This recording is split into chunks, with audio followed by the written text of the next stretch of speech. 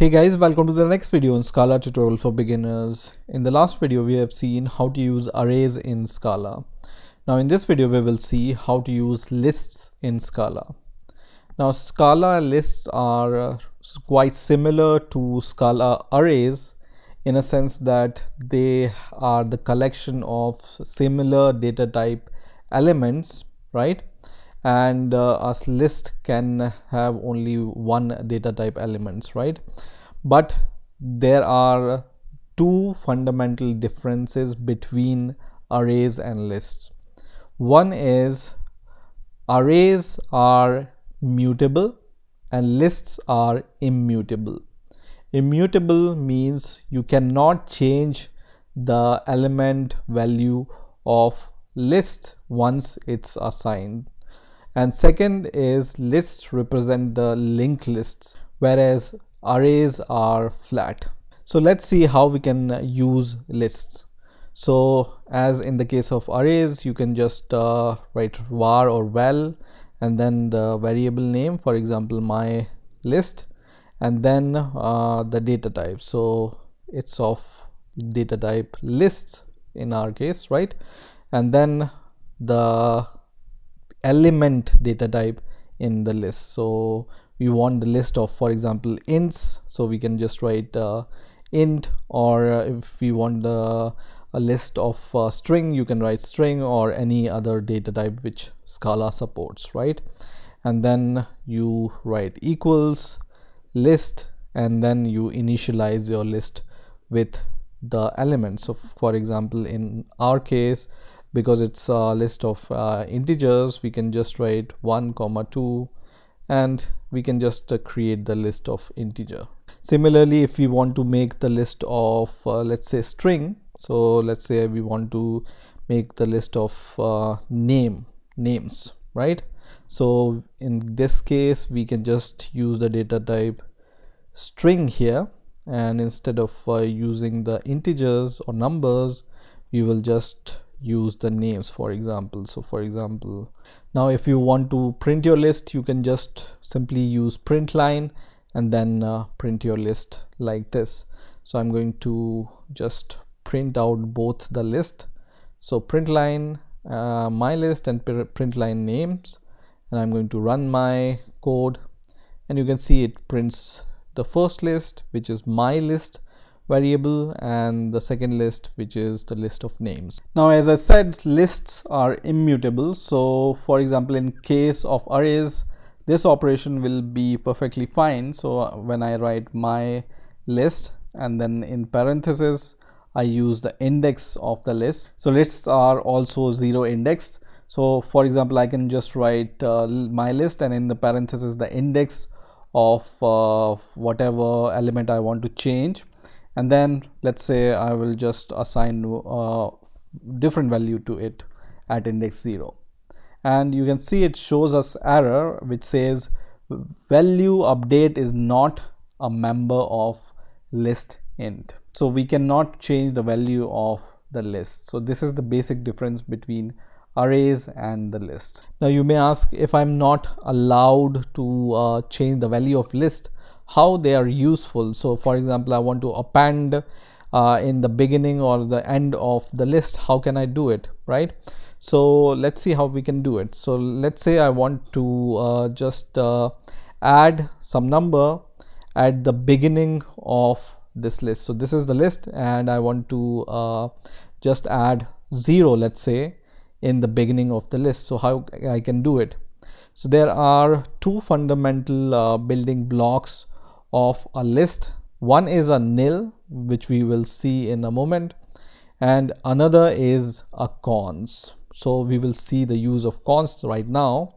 So what I'm going to do is I'm going to append a zero and then I'm going to just write double colon and in Scala it's called a cons. Okay. So this cons is used to prepend zero in the list uh, my list right? So i'm going to just save this and then run this program. And then it prints zero you see? So zero is prepended and then your list content. But keep in mind so let's say I print the value of list once again and run the code and you can see the content of my list is not changed. So what it's going to do is if you want to assign uh, the value of uh, the consing of my list and zero to another list variable it's possible but the changing of the you know list is not possible. So we are not changing the value of my list but we are just prepending 0 to the existing list which will not change my list itself. Now the second thing i said about list is nil. So nil is also of type list. So i'm going to just uh, print for example nil first of all. So you can see it's an empty list. So what you can do is it's you can create a list using this nil uh, value. So for example I can just write one cons any other number cons any other number cons and this is going to create a list of three numbers which is 1 5 and 9 so whenever you cons anything to the nil is going to create a list. Now let's see some of the method associated with the list.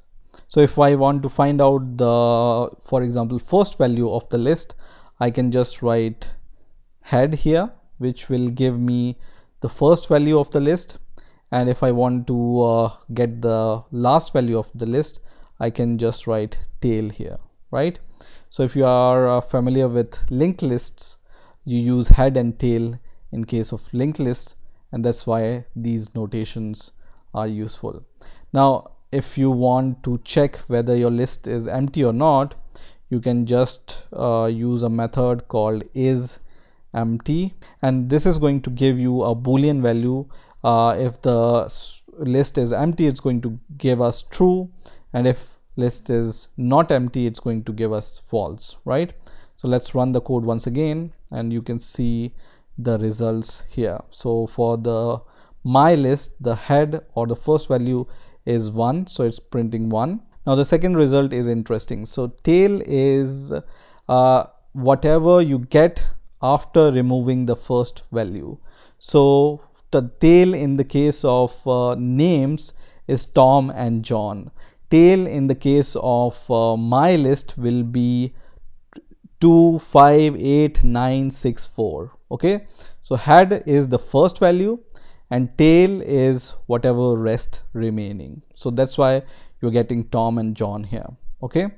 And then we have checked if the name list is empty or not and it returns us false right?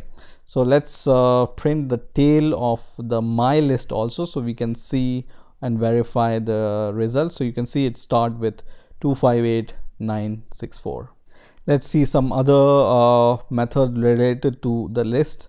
So for example if i use uh, reverse method so if i use the reverse method on the list it's going to give us the reverse uh, list so it will start from 4 which is the last element of the list and it will go up to 1 which is the first element of the list. Now if you want to create a uniform list that means uh, a list which contains only same type of uh, elements so you can use the fill uh, method for that.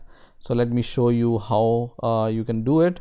So I can just write list dot fill and then I will uh, first write how many uh, number of element I want in my list. So let's say I want five element and then what is the element I want in the list. So let's say I want uh, two in my list. So list of twos. Okay. And when I run the program, it's going to give us the list of uh, twos which have five elements. Similarly, you can uh, use uh, other method with lists also. So in eclipse you can just write list and then dot and then uh, you will see uh, more method associated with lists. So just go through them and uh, see the description of uh, you know every method and whatever method or you want to uh, you know implement you can use it. So for example let's say I want to use the method called max here which is going to give us the maximum of the whole list. So you can see it gives us 9 which is the maximum in the list of integer. Now let's see how we can iterate over the list for example so to iterate over the list you can uh, just use the name of your list for example my list. And then you can use a method called for each on your list. And what it will do is it will go over or iterate over every element of the list and perform the operation which you will write inside these parentheses. So for example i want to print uh, every element of the list. So in th inside this parenthesis i can just write print ln which is going to print out all the element of the list. You can see it has printed out all the element of the list. So because it's a print line so so it will print on different lines. In a similar way for example if you want to just find out the sum of uh, the list so what i'm going to do is i'm going to define a uh, var or variable and then I'm going to just say sum and it's going to be of data type int right? And the initial value of uh, the sum variable is 0 okay? And then I can just write my list dot for each sum plus equals and then this underscore. And this means what we want to do is we want to add each element of the list. So this for each will iterate over every element of the list which is indicated by this underscore. And what it's going to do is it's going to just add this value to the sum variable so it will iterate over this list one by one and then it will add to this sum variable right? So when we just print the value of uh, sum so let's say we will just write print ln and then we uh, will just write uh, sum here. It's going to give us the sum of the list which is 35 in this case. Now the next way of uh, iterating over the list is using the for loop. So you can just write for here and then uh, you can iterate over the list. So for example i want to iterate over the list of names. So i will just write name here which is the uh, iterated element and then we will just write this arrow here and then we will just pass the list name. So our list name is names right? So this is this list okay? And what we want to do after iterating over every element of the list we just want to print out uh, every element. So we will just write print ln and then we can just write name here as we have seen previously.